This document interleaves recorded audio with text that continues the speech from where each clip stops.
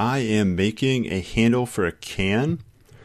I'm loosely basing it off of what you see here, but I'm doing it uh, quite differently. I'm going to use a vertical cylinder for the actual handle. And what I did is I took my can, I reproduced, well, I actually took copied the can, deleted a lot of vertices, thickened it up with a solidify modifier, and then I did some extrusion to get this up here and this down here. Then, there's the original can. Uh, then I added a handle, or I added a vertical cylinder. That'll be the actual handle.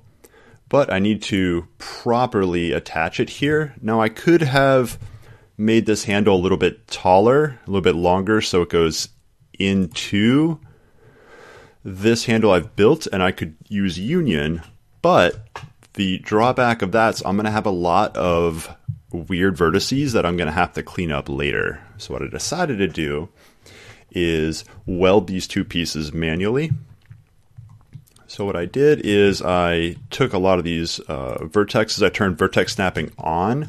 So I actually snapped these verte- vertexes were not touching. So I turned vertex snapping on and I'm actually snapping to the other object that's visible. And I made the can invisible so I don't get distracted.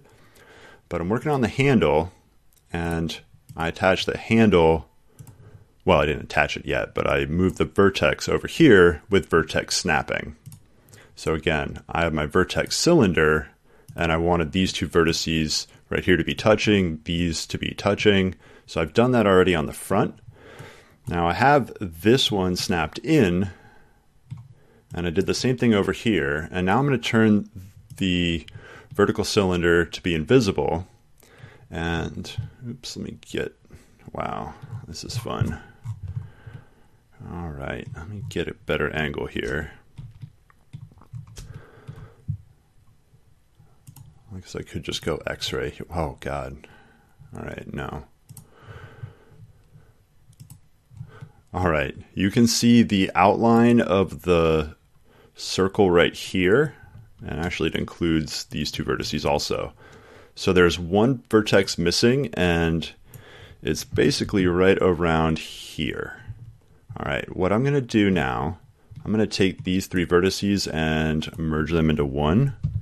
I don't really care where if they're at center. Uh, I don't want to go cursor because that's at the origin far away. I'll just go to center, and then I'm going to grab this and just visually move it close to where it actually is. I'm intentionally moving it further outside of where I know that circle is going to be. So when I make this visible again, I can grab this and again I have vertex snapping on and now I have it perfectly snapped around here. Now what I'm going to need to do is actually attach these pieces together and then delete some faces and that's a little bit tricky because they're different objects, but I'll cover that later.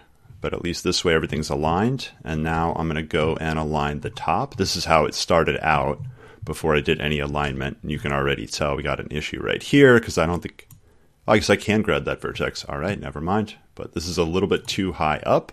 So I'm going to need to bring this down a little bit. And then I'm going to attach the top, or at least make the vertices match up and then we'll go ahead and see how to merge two separate objects.